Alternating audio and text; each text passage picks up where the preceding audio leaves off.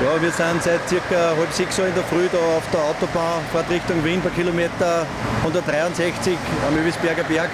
Da einen schweren Verkehrsunfall mit äh, eingeklemmter Person unterwegs. Äh, folgende Lage, wie wir hergekommen sind, äh, hat sich dargestellt. Mercedes Sprinter hat es auf Zeiten geschmissen, nach einem Reifenplatzer vermutlich. Der Mercedes Sprinter hat einen Anhänger noch angehängt gehabt, der Anhänger mit einem PKW drauf. Der ist ca. noch 100 Meter selbstständig an der Unfallspül weitergerannt und hat sich dann in der Leitplanken selber einbremst. Äh, das Problem war in dem äh, Mercedes Sprinter, den was auf Zeiten gelegt hat, äh, dass mehrere, Verlet also mehrere Personen drin waren. Davon waren ein paar Schwerverletzte, der Fahrer dürfte leicht verletzter sein und leider wurde auch eine Person unter dem Fahrzeug eingeklemmt und diese Person ist leider verstorben. Danke.